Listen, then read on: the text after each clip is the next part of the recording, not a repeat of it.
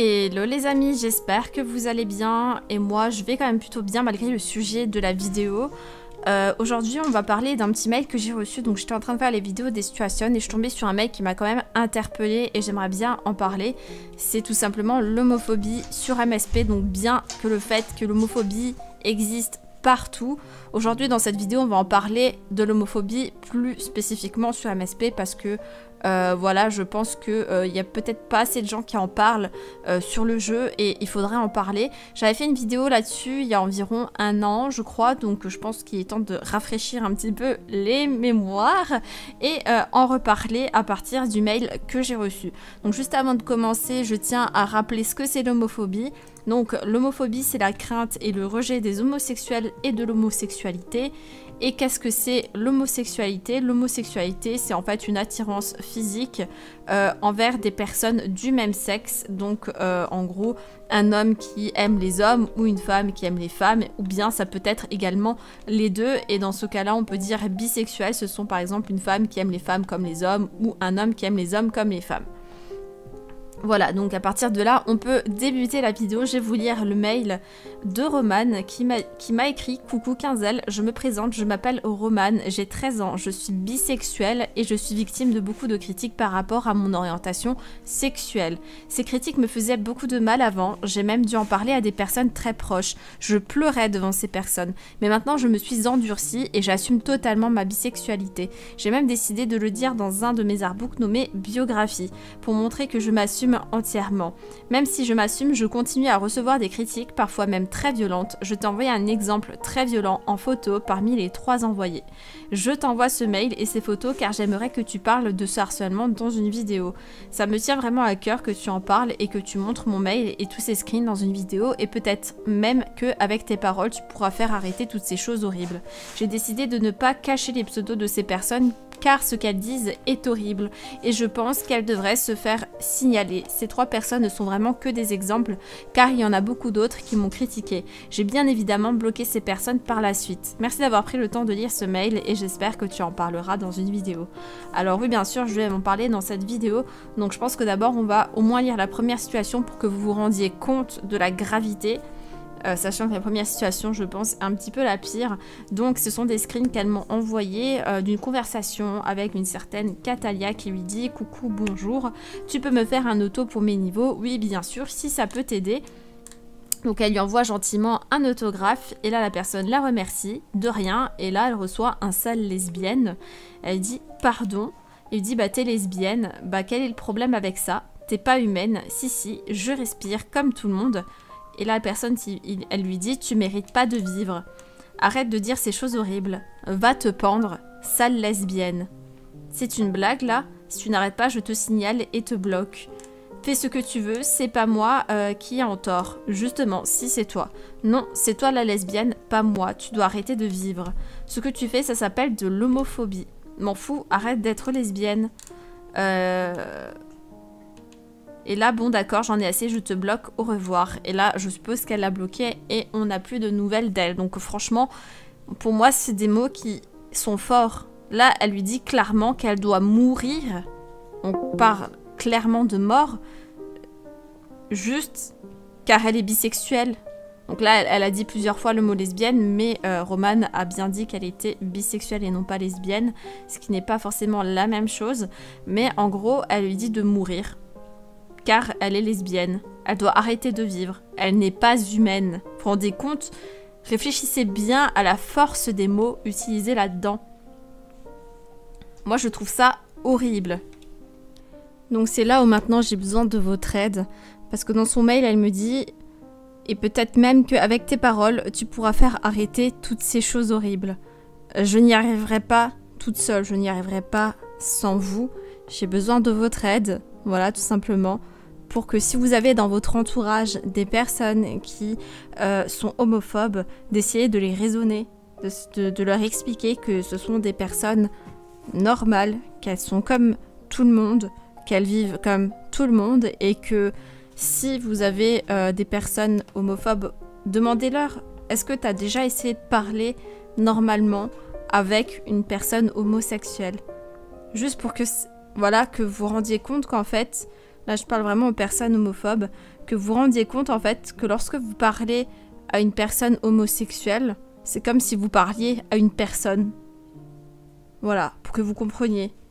C'est comme quand vous parlez à une fille, bah vous parlez à une personne fille, vous parlez à une personne garçon. Dans un premier temps, c'est une personne, peu importe le genre, peu importe son orientation sexuelle, peu importe si elle est grande, elle est petite, peu importe la couleur de sa peau, peu importe tout en fait. Peu importe. C'est une personne, c'est une personne humaine. Et je suis sûre que si vous parlez avec des personnes homosexuelles, vous allez vous rendre compte en fait que ce sont des personnes comme tout le monde finalement, comme tout le monde, que ce ne sont pas des mauvaises personnes, absolument pas, et que bah, tout simplement allez leur parler, ouvrez votre esprit, euh, voilà. Donc maintenant on va passer euh, au deuxième message qu'elle a reçu qui vient, euh, de BGBG 451 qui lui demande pourquoi t'es gay. En soi, on peut se dire c'est une question légitime, peut-être qu'il est curieux, il a envie de savoir, même si je trouve quand même que poser ce genre de questions, si on connaît pas bien la personne, c'est un peu euh, personnel comme question. Et du coup, elle répond bah tout d'abord pour une fille on dit lesbienne et euh, je suis bisexuelle. Alors normalement, si je me trompe pas, on peut dire qu'une personne qui est lesbienne, elle est gay. En gros, gay, ça, ce sont les hommes qui aiment les hommes et les femmes qui aiment les femmes. On peut également dire gay.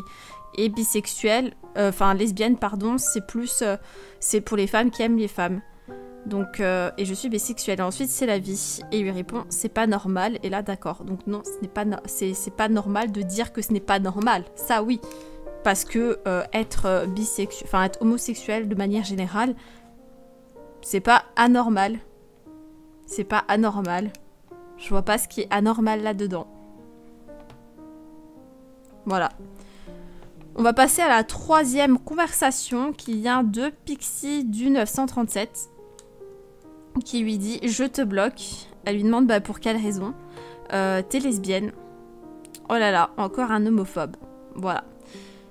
Donc euh, la personne, elle la bloque seulement sous prétexte qu'elle est lesbienne. Alors j'ai envie de te dire, euh, enfin, qu'est-ce qu'elle t'a fait, tu vois? Là, impression, je te bloque, je sais pas, parce que tu m'as piraté, parce que tu m'as insulté, mais non, non, elle lui bloque juste parce qu'elle est lesbienne. Vous rendez compte de la mentalité, les gars? Vous rendez compte de la mentalité?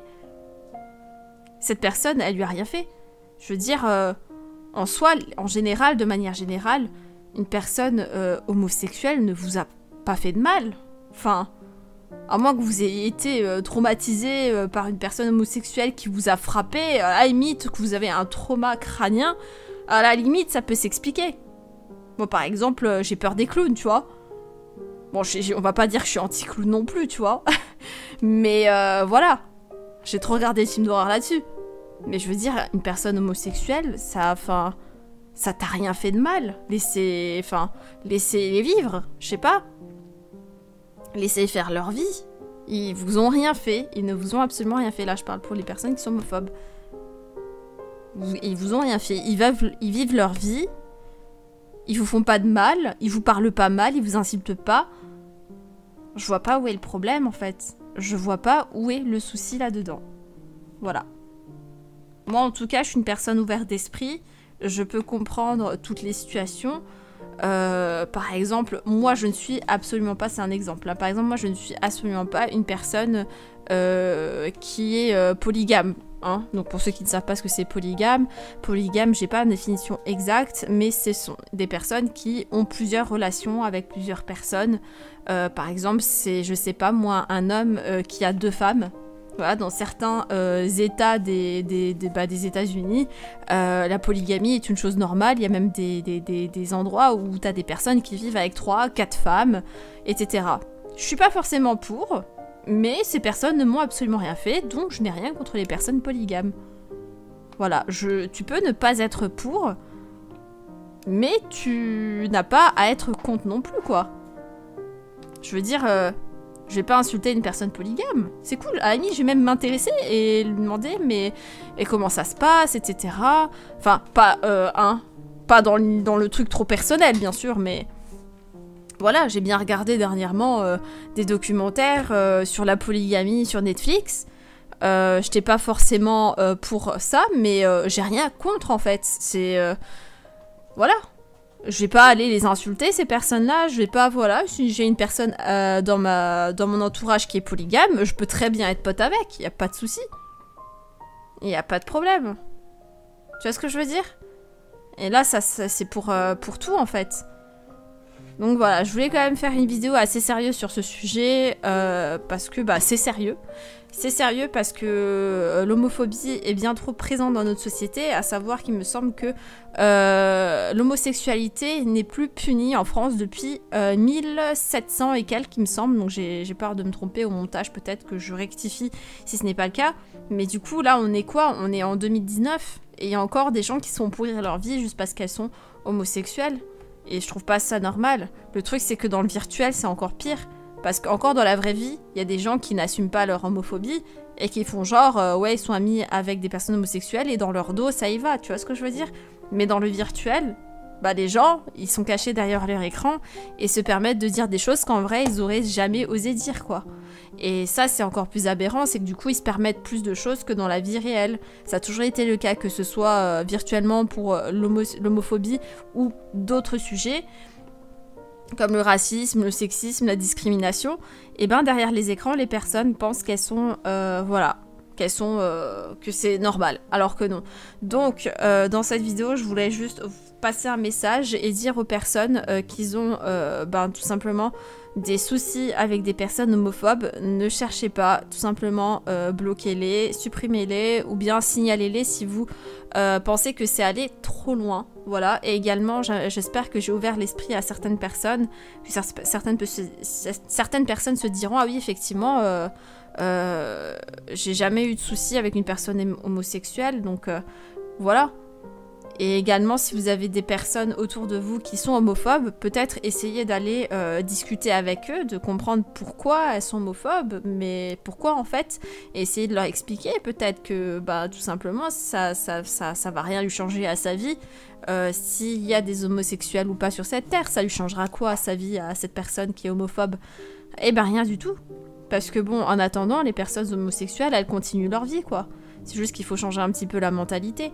Donc je sais pas. Dites-moi en commentaire euh, comment vous, auriez réagi. euh, Qu'est-ce que vous auriez dit à une personne homophobe? Alors moi je suis quelqu'un qui essaye toujours de, discuter, de, de débattre. Donc euh, voilà, quand il y a une personne qui n'a pas le même avis que moi, qui est peut-être euh, voilà fermée d'esprit, j'essaye quand même par tous les moyens de discuter avec cette personne et, de comprendre pourquoi. Et, voilà, essayer de comprendre pourquoi en fait le fond du problème quoi. Bah écoutez, euh, voilà, petite vidéo quand même euh, qu'il fallait un petit peu refaire. Hein. Si limite, si je dois en faire une toutes les années, ça me dérange pas pour à chaque fois essayer de- d'en reparler, de redébattre sur ce sujet-là. Voilà, donc euh, franchement, si vous êtes une personne qui est harcelée, parce que là on parle vraiment d'harcèlement, c'est vraiment un harcèlement, euh, si vous êtes harcelé euh, pour votre orientation sexuelle ou autre, ne restez pas enfermé, parlez-en autour de vous, parlez à des personnes euh, avec qui vous avez confiance et vous avez bonne affinité. Voilà. Bon bah écoutez, sur ce, moi je vous laisse. Je vous laisse débattre dans la zone des commentaires, bien sûr sans insultes, comme d'habitude, s'il vous plaît. Et je vous remercie et je vous dis à tout bientôt dans une prochaine vidéo, dans un prochain live. Ciao ciao